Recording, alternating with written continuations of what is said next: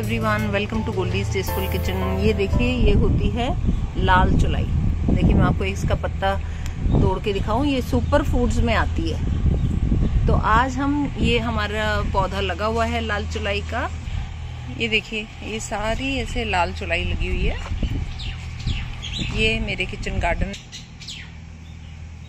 ये ना दो तरह की होती है। तो एक ये हरे कलर की होती है। देखिए, हरे कलर की। तो आज जो हम सब्ज़ी बनाएँगे ना, वो लाल चौलाई से बनाएँगे। ये हमारी सारी कितनी बढ़िया फ्रेश चौलाई लगी हुई है। जगह जगह देखिए। बहुत ही बढ़िया। तो ये देखिए, ये हमने पत्ते पत्ते अलग करके ना, अच्छे से धो के इनको सुखा लिया है। और ये ना, काफ़ी सारे हैं, पूरी बड़ी ये छलनी है। बट जब वेट लिया ना तो ये 250 ग्राम ही है। तो क्योंकि मार्केट से नहीं खरीदे हैं तो फिर वेट करना ज़रूरी था ताकि मैं आपको बता पाती कितनी सब्ज़ी बनती है। तो इसको हम पहले बारीक काट लेते हैं। दस बारह हम इसमें लहसुन की कलियाँ लेंगे और ये एक हरी मिर्च को इसमें कूट लेंगे। जरा सा मैं अदरक भी डालूँगी। तो ये देखिए, आधा इंच के करीब हमने इसमें अदरक भी डाल दिया है और अब इसको इस तरह से दरदरा कूट लेंगे।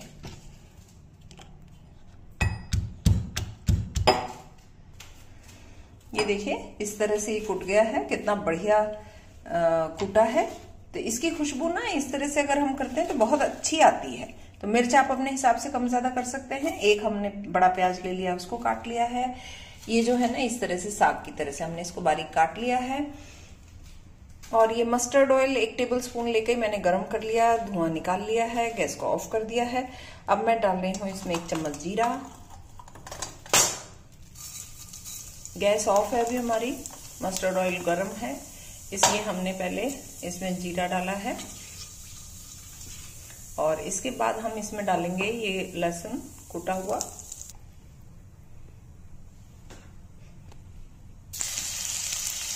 तो ये अब हम इसमें पूरा डाल देंगे। इसको मिक्स करेंगे। लहसुन, अदरक, हरी मिर्च का पेस्ट। बहुत ही अच्छी इसमें खुशबू आ रही है। और गैस को अब ऑन कर लेंगे। ये देखिए, हमको इसको भूनना है अच्छे से। कच्चा सा नहीं रहना चाहिए लहसुन। और जिन भी मेरे सब्सक्राइबर्स ने ये सब्ज़ी बनाई है, ज़रूर बताइएगा कि आप इसे कैसे बनाते हैं। मैं इसको पहली बार बना रही हूँ और फिर आपको बताऊँगी कि इसका टेस्ट कैसा बना। देखिए, लहसुन भुनना शुरू हो गया है। अब हम इसमें डाल देंगे प्याज। और प्याज को भी हम भूनेंगे। लगातार चलाते हुए मैंने ना ऑयल बहुत कम लिया एक टेबल स्पून बस। तो आप अपने हिसाब से इसको कम ज़्यादा कर सकते हैं, आप इसको घी में भी बना सकते हैं।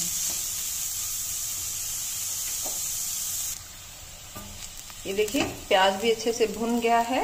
अब हम इसमें डालेंगे वन फोर्थ टी स्पून हल्दी, थोड़ा सा नमक, स्वाद के अनुसार,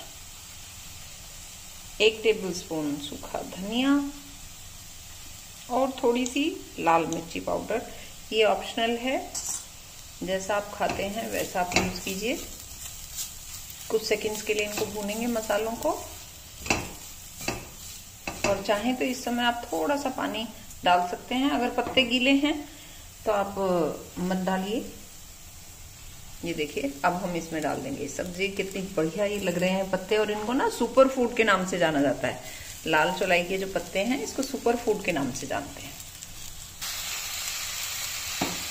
तो सारे जो हैं, हम ये कटे हुए पत्ते इसमें डाल देंगे और इसको अच्छे से मिक्स करेंगे। मैंने आपको पहले बताया कि दो तरह की होती है ना? हरी चुलाई और लाल चुलाई। थोड़ा सा मैंने नमक इसमें और डाला है, मुझे कम लग रहा था, और हल्का सा ना मैं एक टेबल स्पून बस पानी डाल देंगे। बस। और अब इसको हम ढककर पकाएँगे अच्छे से मिक्स करके। तो आइए चेक कर लेते हैं सब्ज़ी। और इसमें हम मिलाकर इसको देखते हैं। वाह! बहुत ही बढ़िया कलर देखिए कितनी सुंदर कलर आया इसमें। मैं थोड़ा सा ना इसमें किचन किंग भी डाल रही हूँ। तो ज़रा सा हम डालेंगे kitchen king half teaspoon के करीब। और इसको मिक्स करेंगे। इससे भी टेस्ट ना बहुत अच्छा आने वाला है। और एक दो मिनट हम और ढक के पकाएँगे और फिर इसकी प्लेटिंग करते हैं। ये देखिए, बहुत अच्छे से ये सब्ज़ी गल गई है। अब मैं इसमें ना आधा चम्मच घी डाल रही हूँ। बिल्कुल आधा चम्मच ना, देसी घी। ये आपकी मर्ज़ी है ऑप्शनल है। आप चाहें तो डालिए, नहीं तो आप स्किप कर सकते हैं। और ये देखिए, हमारी ये यमी सी सब्ज़ी बनकर तैयार है। मैं आपको दिखाऊँ पास से बिल्कुल जैसे भुजी बनाते हैं ना, पत्तों की, उस टाइप से ये साग बना है। आइए इसकी करते हैं प्लेटिंग ये देखिए प्लेटिंग करने के बाद ना ये कुछ इस तरह की लग रही है। आपको मैं क्लोजअप करके दिखाती हूँ। कितना अच्छा कलर है। और ये जो नेचुरल चीज़ें हैं ना, इनको अगर आप साधारण तरीके से बनाएँ तो बहुत अच्छा लगता है। Thank you so much for watching my recipe